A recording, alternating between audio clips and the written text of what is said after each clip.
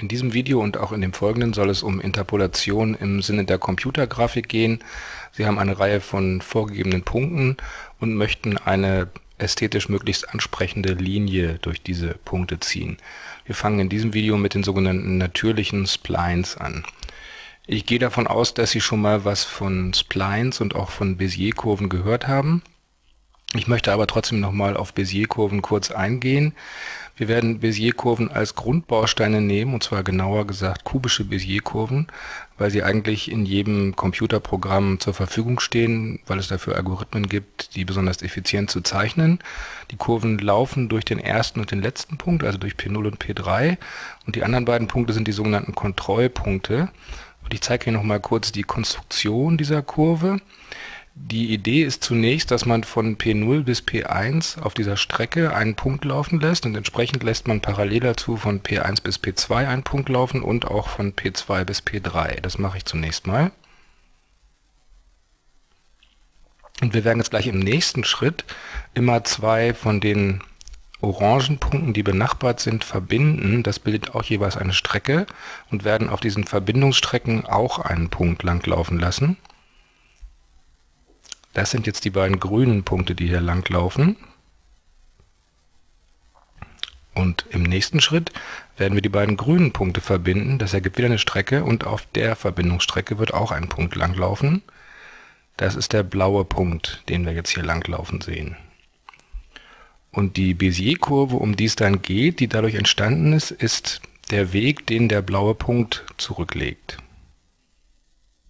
Das ist dieser Weg. Was man hier an dem Bild auch schon sehen kann, wie ich schon sagte, die blaue Kurve geht durch P0 und P3 und die beiden Punkte P1 und P2 sorgen unter anderem dafür, mit welcher Steigung die Kurve P0 verlässt, nämlich so, dass die Tangente im Punkt P0 die Gerade ist, die durch P0 und P1 geht und die Tangente im Punkt P3, da wo der Punkt eintrifft, ist die, die durch die Punkte P2 und P3 verläuft. Jetzt zur rechnerischen Konstruktion von diesen kubischen Bézier-Kurven. Die erste Kurve, die wir gesehen haben, die orange Strecke links, die habe ich hier mal B0 oben 1 genannt. Die 1 oben soll bedeuten, das ist eine Kurve ersten Grades, das ist ja einfach eine Gerade. Und die 0 unten soll bedeuten, dass sie im Punkt P0 anfängt. Und rechts habe ich nochmal hingeschrieben, das ist also eine Kurve, in der der Parameter von 0 bis 1 läuft und da kommen als Ergebnis Punkte in der Ebene, also in R Quadrat raus. Und wir haben das gegeben durch die Punkte P0 und P1. Und wenn t von 0 bis 1 läuft, dann haben wir für t gleich 0 den Punkt P0, für t gleich 1 haben wir den Punkt P1. Und für Werte zwischen 0 und 1 kriegen wir dann entsprechend Punkte zwischen P0 und P1 auf der Strecke raus. Das Ganze haben wir eben ja gesehen, haben wir dreimal gemacht. Das heißt, wir haben drei solche parametrisch dargestellten Strecken. Und dann haben wir ja jeweils zwei von diesen Punkten verbunden und auf denen sind wir auch lang gelaufen. Das heißt, wir haben da auch so eine Strecke abgelaufen. Das wäre im ersten Fall die Gleichung die auch im Punkt 0 anfängt, wo jetzt eine 2 oben steht, weil sich dann nämlich eine Gleichung zweiten Grades ergeben wird. Im Prinzip das gleiche wie oben, nur dass der erste Punkt jetzt nicht ein fester Punkt wie P0 ist, sondern der Punkt, der durch die erste Kurve gegeben ist und der zweite Punkt ist nicht P1, sondern der Punkt, der durch die zweite Kurve gegeben ist. Das heißt, wir können das jetzt einsetzen. In den eckigen Klammern steht das, was in den Gleichungen oben drüber steht und das können wir ausrechnen. Dann ergibt sich diese Darstellung für die erste grüne Kurve und entsprechend bekommen wir eine Darstellung für die zweite grüne Kurve. Und das gleiche haben wir mit dem blauen Punkt dann nochmal gemacht. Das heißt, wir bekommen jetzt eine Gleichung dritten Grades. Wenn wir für den ersten Punkt die erste grüne Gleichung einsetzen, für den zweiten die zweite grüne Gleichung, da können wir auch wieder einsetzen und ausrechnen. Dann bekommen wir die übliche Darstellung. Das, was jetzt vor den Punkten P0 bis P3 steht, nennt man auch nur zur Information die Bernstein-Polynome. Und ich habe das auch nochmal ausmultipliziert, weil wir das gleich noch brauchen werden. Also beide Darstellungen sind äquivalent, je nachdem, was man braucht, ist die eine oder die andere praktischer. Hier nochmal das, was wir machen wollen. Wir werden in diesem Video mit sechs Punkten als Beispiel arbeiten, die ich hier K1 bis K6 genannt habe. Unsere Kurve soll durch diese Punkte gehen. Die wird dann nachher vielleicht so aussehen wie hier. Und wir wollen für die Verbindung von zwei Punkten jeweils eine von diesen Bézier-Kurven nehmen, die wir eben gesehen haben. Und unser Job wird es sein, die beiden Kontrollpunkte, von denen ich eben gesprochen habe, zu ermitteln. Das heißt, wie müssen diese beiden Punkte liegen, damit sich eine möglichst schöne Kurve ergibt, wie auch immer schön in diesem Fall gemeint ist. Zur Bezeichnung, äh, die Punkte, die hier auftauchen, P0 bis P3 heißen sie wieder, die haben noch einen zweiten Index bekommen, der, der heißt jeweils 1. Das bedeutet, diese vier Punkte gehören zu der Kurve, die beim ersten Punkt K1 anfängt und beim nächsten Punkt K2 endet. Und P01 ist also dasselbe wie K1 und P31 ist dasselbe wie K2. Rauskriegen müssen wir irgendwie P11 und P21. Unser erstes Ziel wird sein, dafür zu sorgen, dass die nächste Bézier-Kurve, die zwischen K2 und K3, aus K2 so rausläuft, wie die vorherige Kurve in K2 reingelaufen ist, damit wir an dieser Stelle keinen sichtbaren Knick haben. Also mathematisch gesehen möchten wir, dass die erste Ableitung stetig ist. Ich habe hier nochmal den Anfang der Kurve hingezeichnet. In Orange sieht man die Kontrollpunkte für das erste Bézier-Stück. Diese Kontrollpunkte nennt man übrigens in Grafikprogrammen manchmal auch Anfasser. Und in Grün sieht man die entsprechenden Punkte für das zweite Bézier-Stück. Da oben habe ich nochmal die Formel hingeschrieben für das erste Stück. Da habe ich jetzt etwas andere Indizes genommen. B1 soll hier jetzt sein die Bézier-Kurve, die im Punkt 1 anfängt. Und die orangen Punkte sind genauso bezeichnet wie in der Grafik. Jetzt bilden wir davon die Ableitung, weil wir ja die Stetigkeit der ersten Ableitung haben wollen. Das kann man ganz einfach ausrechnen. Und entsprechend können wir auch für die zweite Kurve die Ableitung ausrechnen. Das ist das gleiche wie oben, nur mit anderen Indizes. Und was wir wollen, ich habe es hier nochmal hingeschrieben, ist, dass die Kurve, die von links in K2 reinkommt, genauso da wieder rausläuft nach rechts aus K2. Das heißt, die Ableitung von der ersten Kurve an der Stelle 1, da ist die Kurve ja zu Ende, soll das gleiche sein wie die Ableitung von der zweiten Kurve an der Stelle 0, da wo sie anfängt. Das heißt, wir rechnen jetzt aus die Ableitung der ersten Kurve an der Stelle 1. Da fällt einiges weg, dann wird das ein bisschen einfacher. Und das können wir noch ein bisschen vereinfachen, wenn wir uns daran entsinnen, dass der Punkt 3.1 ja der vorgegebene Punkt K2 ist. Entsprechend können wir auch die Ableitung der zweiten Kurve an der Stelle 0 ausrechnen, die auch ein bisschen vereinfachen, dadurch, dass der Punkt P02 auch der Punkt K2 ist. Und jetzt können wir, wie es da oben drüber steht, diese beiden Werte gleichsetzen und das noch etwas vereinfachen, dann ergibt sich 2 mal K2 muss sein P21 plus P12. Das bedeutet ganz simpel, und das ist ja irgendwie auch anschaulich klar, dass der Punkt K2 in der Mitte zwischen den Kontrollpunkten P21 und P12 liegen muss. Das ist also die erste Bedingung, die erfüllt sein muss. Und das muss natürlich für die anderen Punkte auch erfüllt sein. Für die anderen inneren Punkte. Wir hatten insgesamt sechs Punkte, K1 bis K6, und wir reden jetzt momentan nur über die inneren Punkte, die, die jeweils zwischen zwei Bézier-Stücken liegen. Es stellt sich nun raus, dass das noch gar nicht genug Gleichungen sind, um unsere Kurve zu beschreiben, also um diese Bézier Kurven zu beschreiben. Das heißt, wir können noch weitere Forderungen an die Kurve stellen. Und das, was mathematisch jetzt nahe liegt, ist, dass man sagt, nicht nur die erste Ableitung soll stetig sein, sondern die zweite Ableitung soll auch stetig sein. Das heißt, wir machen im Prinzip das gleiche nochmal. Wir schreiben uns die erste Ableitung, die wir auf der letzten Folie ausgerechnet haben, hin, berechnen die zweite Ableitung ganz normal mit Ableitungsregeln und machen das auch für die nächste Kurve und setzen die beiden wieder gleich, so wie eben. Das heißt, am Ende der ersten Kurve und am Anfang der zweiten Kurve soll auch die zweite Ableitung gleich sein. Einsetzen für die erste Kurve vereinfacht sich etwas, weil ein Term wegfällt und da können wir wieder den Punkt 3.1 durch den Punkt K2 ersetzen. Entsprechend können wir das auch für die zweite Kurve machen. Auch da können wir den Punkt 02, der ja auch nur eine andere Bezeichnung für K2 ist, durch den Punkt K2 ersetzen. Jetzt können wir die beiden wieder gleichsetzen und ein bisschen umformen. Dann ergibt sich daraus diese Forderung für die Punkte. Das wäre die Forderung, die bedeutet, dass die zweite Ableitung an dieser Stelle stetig sein soll. Und wie eben bekommen wir natürlich für die anderen inneren Punkte auch wieder Gleichungen. Das heißt, wir haben vier neue Gleichungen, die erfüllt sein müssen. Das können wir jetzt noch zusammenfassen. Ich habe oben mal die ersten beiden Gleichungen hingeschrieben, die sich aus der ersten Ableitung ergeben und darunter die erste Gleichung, die sich aus der zweiten Ableitung ergibt. Und in der letzten Gleichung habe ich zwei Punkte durch das ersetzt, was sich aus den oberen beiden Gleichungen ergibt. Und wenn man das noch ein bisschen vereinfacht, dann sieht das Ganze so aus. Warum habe ich das gemacht? Durch diese Umformung habe ich jetzt in der letzten Gleichung nur noch Punkte stehen, bei denen der erste Index 1 ist. Also mein Ziel ist, auf Gleichungen zu kommen, in denen es mir jeweils nur um den ersten Kontrollpunkt jeder Bézier-Kurve geht.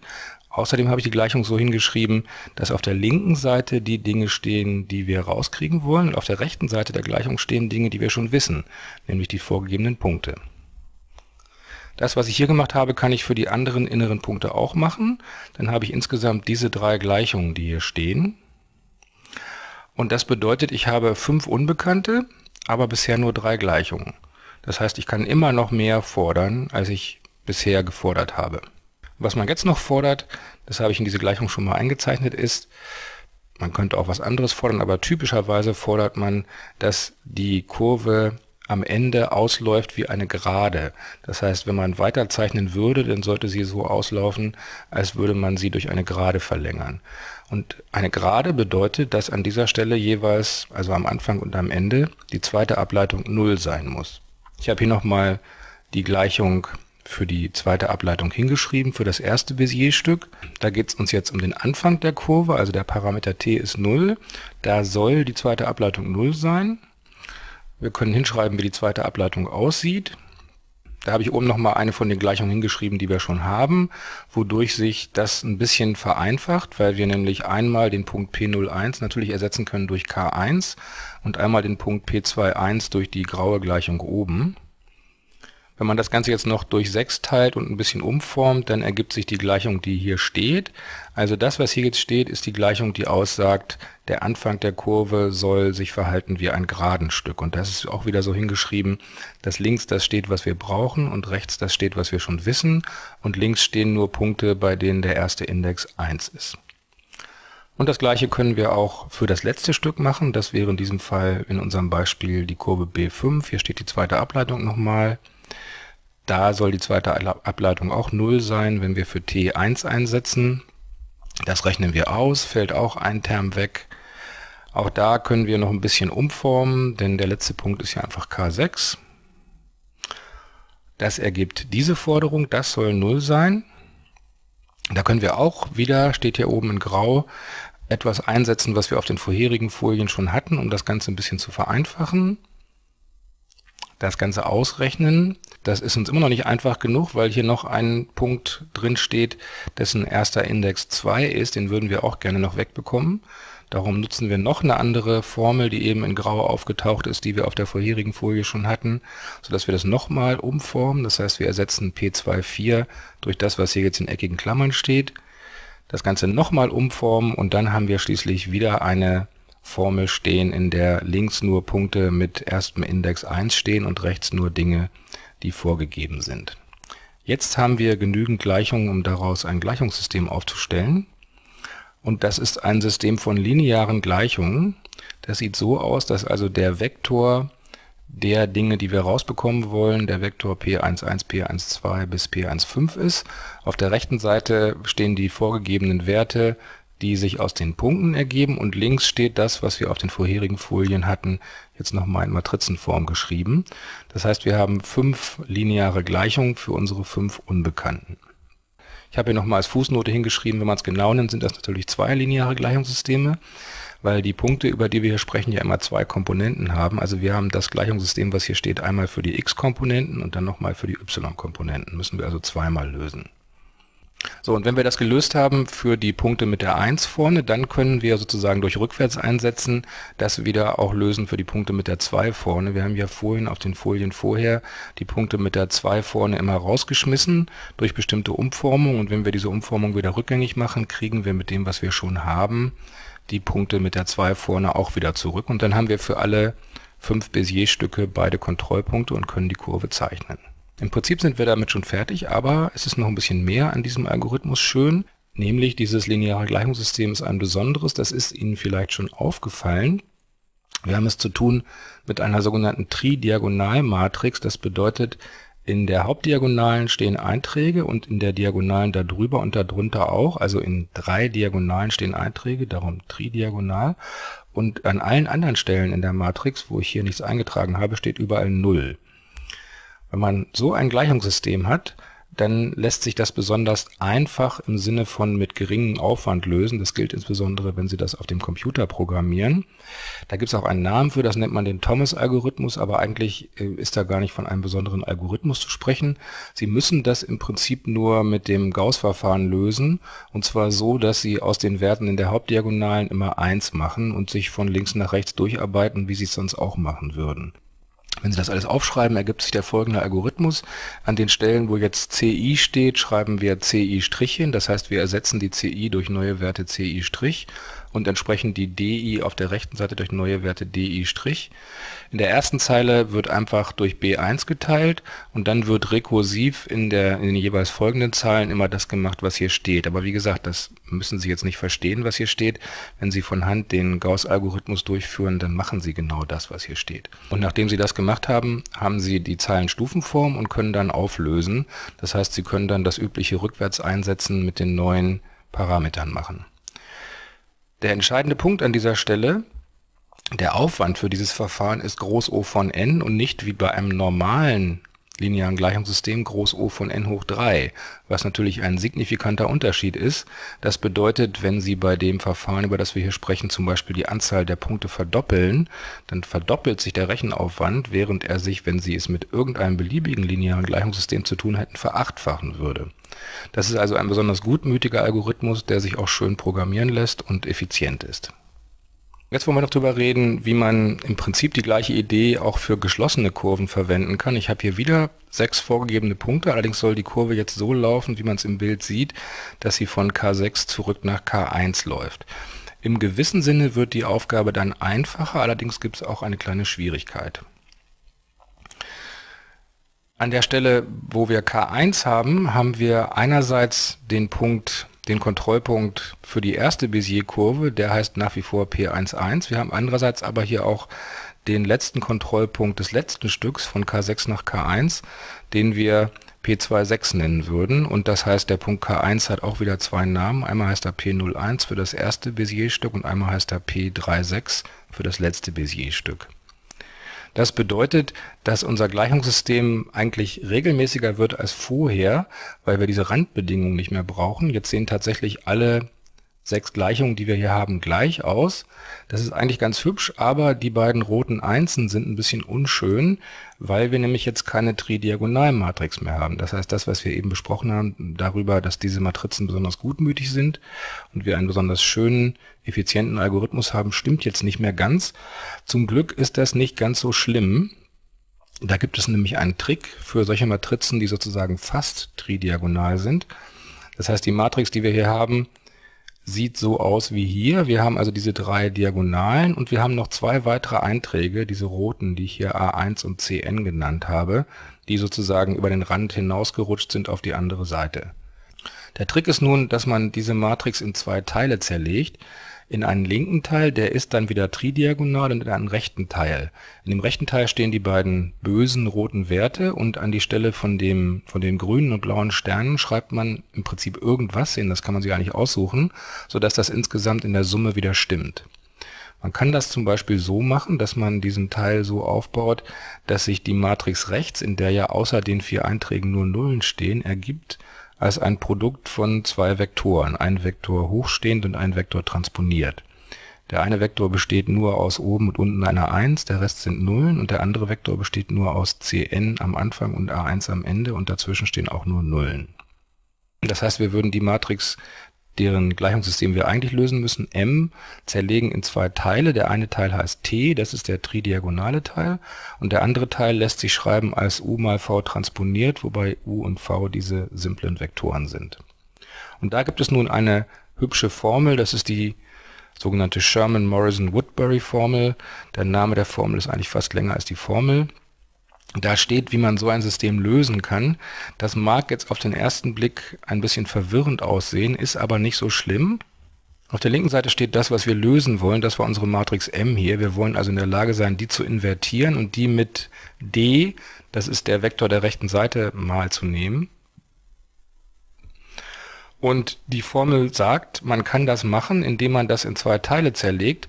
Man löst das einmal für die tridiagonale Matrix. Von diesem Teil wissen wir ja schon, dass das geht. Und dann macht man das Ganze nochmal und benutzt dafür den Ausdruck T hoch minus 1 mal U. Das ist aber auch wieder ein Gleichungssystem mit der tridiagonalen Matrix, lässt sich also mit dem gleichen geringen Aufwand lösen. Man muss also nur noch das, was hier steht, in Programmcode übersetzen aber der entscheidende Punkt ist, da man sowohl T hoch minus 1d als auch T hoch minus 1u mit einem Aufwand von Groß O von n berechnen kann, ist der Gesamtaufwand nach wie vor nur Groß O von n. Also man muss ein bisschen mehr arbeiten als bei den offenen Kurven für die geschlossenen Kurven, aber es gilt das gleiche wie schon bei den offenen Kurven. Wenn ich die Anzahl der Punkte zum Beispiel verfünffache, dann wird sich der Rechenaufwand auch nur verfünffachen und nicht etwa ganz furchtbar erhöhen im Sinne von 25 mal oder 125 mal. Also wir können mal zusammenfassen, was wir mit diesen sogenannten natürlichen kubischen Splines erreicht haben. Die Kurve geht erstens durch die vorgegebenen Punkte, Zweitens, die Stücke zwischen benachbarten Punkten sind immer kubische Bézier-Kurven. Ich hatte ja am Anfang gesagt, dass das eine wichtige Forderung ist, damit es sich in typischen Grafikprogrammen der Bibliotheken leicht implementieren lässt. Dritter Punkt ist, die Kurve ist überall zweimal stetig differenzierbar.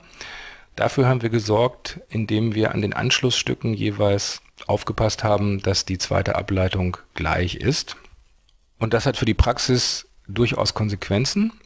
Im oberen Beispiel habe ich zwei Kurven zusammengesetzt aus zwei Bézier-Stücken, aber nicht so, dass an der Nahtstelle zwischen links und rechts die zweite Ableitung stetig ist. Im zweiten Fall, die Kurve sieht fast genauso aus, ist die zweite Ableitung stetig.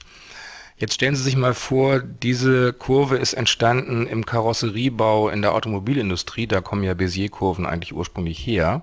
Das heißt, Sie haben zwei separat hergestellte Teile, die an dieser Stelle zusammengeschweißt werden sollen. Und nun stellen Sie sich vor, Sie haben Ihr frisch gekauftes Auto schön poliert und die Sonne fällt drauf. Die Sonnenstrahlen fallen also auf das Blech und werden natürlich reflektiert. Und das habe ich hier versucht mal anzudeuten, was passieren wird.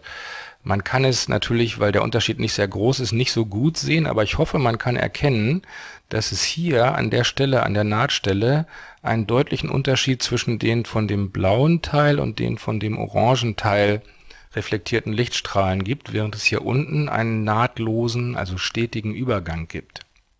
Das bedeutet im Endeffekt, dass bei der oberen Kurve, wenn Sie sich das Blech insgesamt im Sonnenlicht anschauen, ein deutlich erkennbarer Knick sein wird, während bei der unteren Kurve Sie tatsächlich einen glatten Übergang sehen.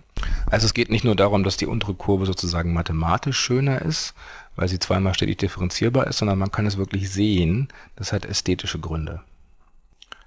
Nächste wichtige Eigenschaft habe ich jetzt nicht extra erwähnt, sollte man vielleicht aber doch nochmal sagen.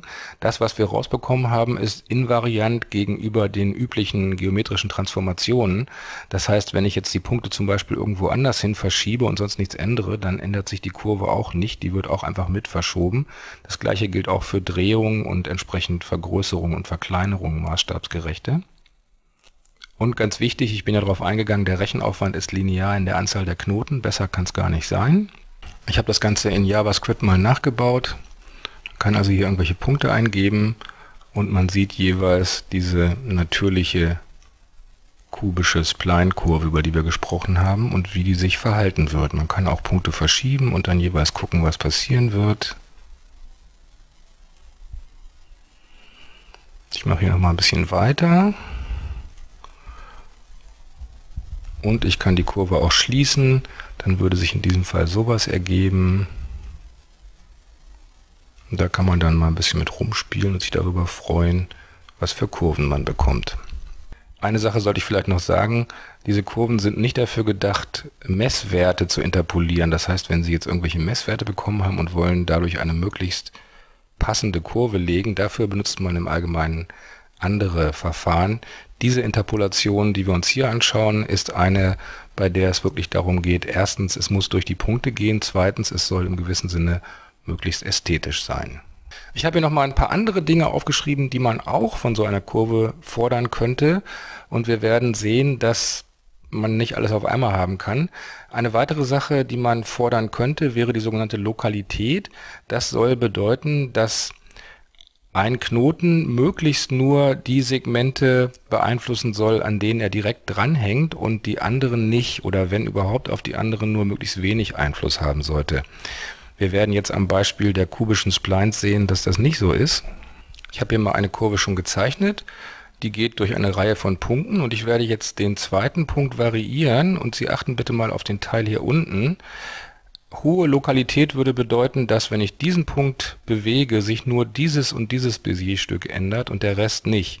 Das ist natürlich prinzipiell schon gar nicht möglich, weil sich ja hier auch was ändern muss, wegen unseren Stetigkeitsforderungen. Aber wir werden sehen, dass sich unsere Änderung weiter fortpflanzt bis in alle Kurvenstücke, die da drunter kommen, je nachdem, wie weit ich diesen Punkt hier weiterziehe. Nach und nach bewegen sich auch die anderen Kurvenstücke ein bisschen und dann immer mehr und immer mehr. Und schließlich auch das letzte. Man sieht es kaum, aber so ein bisschen bewegt es sich doch. So viel zur Lokalität. Wenn Sie einen Punkt zu stark ändern, dann hat das Auswirkungen auf sehr viele nachfolgende Segmente. Eine weitere Sache, die man fordern könnte von so einer Kurvenkonstruktion, ist die sogenannte Erweiterbarkeit. Das bedeutet, wenn ich zu der Kurve einen Punkt hinzufüge und dieser Punkt liegt schon auf der Kurve, dann sollte möglichst die Kurve so bleiben, wie sie schon war. Das klingt eigentlich ganz einfach und so, als würde man das auch haben wollen, aber bei den natürlichen kubischen Splines klappt das nicht immer. Auch dafür ein Beispiel.